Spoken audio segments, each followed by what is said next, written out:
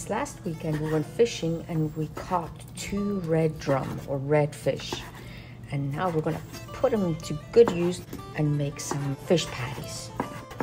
In Italian we call these polpette di pesce and we're gonna add some really good things to it. So you could do this in the food processor, but we decided to just do it this way. Normally here people cut the head off, but this is kind of like the jaw of the fish and it is absolutely delicious meat. So don't throw it away. Our two fillets have been well chopped. Now we're gonna set these aside and get going with some of the herbs.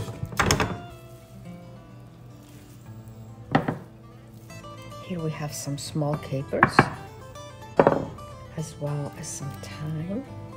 This is a lemon thyme. Then we'll also put some garlic in here. Go. And we'll mince this as well.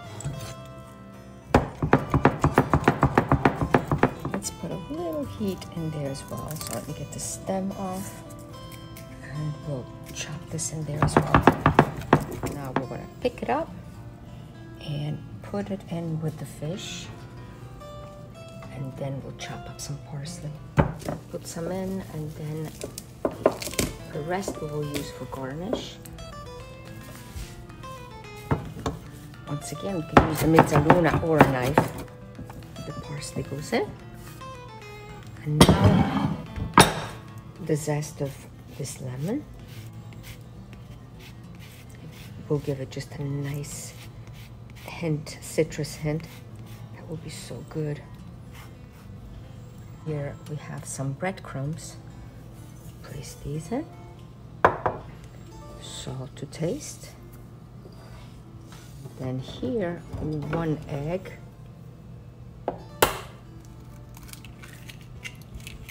And we'll mix everything up really well. And there are no tools better than your hands to get some of the job done.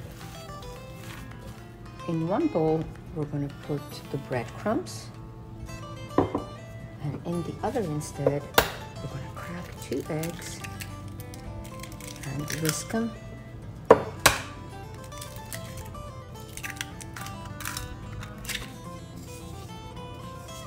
Bit of salt even in here.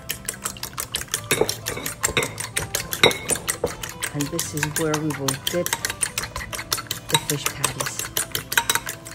We're gonna get small portions like so. And try to keep them as uniform as possible. Roll them right in here in this egg. And from here, we're gonna roll them in the breadcrumbs. Set them aside right here. We're gonna keep doing this until they're all done.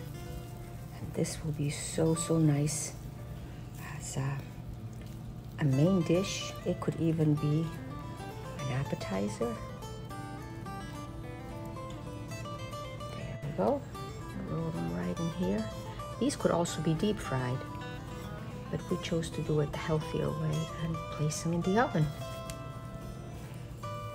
Our pan has been preheating and now we're gonna do the best part. Put our polpette in and then place them in the hot oven.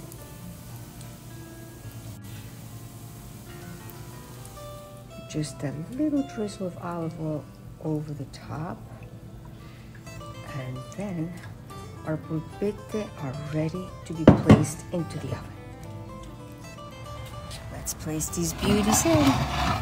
We're gonna close the door and allow the oven to do its magic. Let's pull them out. And let's peek underneath. Oh yes, they're ready to be flipped. Flip them all. And then add the olives and place them back in the oven. It does not take them long at all to cook. Now we're going to add our olives right in here and place it back in the oven.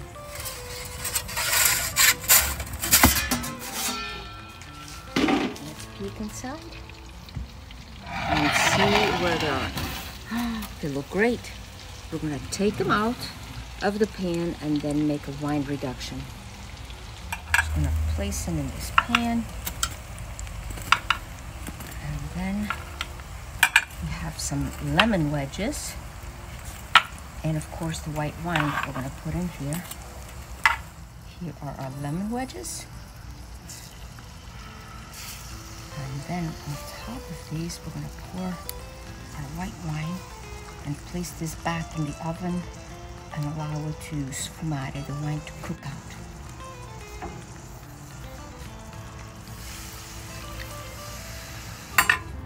Let's place this back inside. Oh yes, look at there, it has nicely reduced. Now we taste it just a little bit of salt, and we'll place the polpette back in here to heat up. And here we are, ready to serve these beauties. And this is gonna be an incredibly good lunch. I can't wait to get everybody around the table and spend some time together as we enjoy this beautiful drum fish. Now we're gonna also put some um, lemons around. Make it something to pick them up because they're hot. We'll these around as well. We'll also spread the olives around. And the slight bitter from the olives with this beautiful fish is also gonna be very good. And all that is left to do now is to wish you un buon appetito.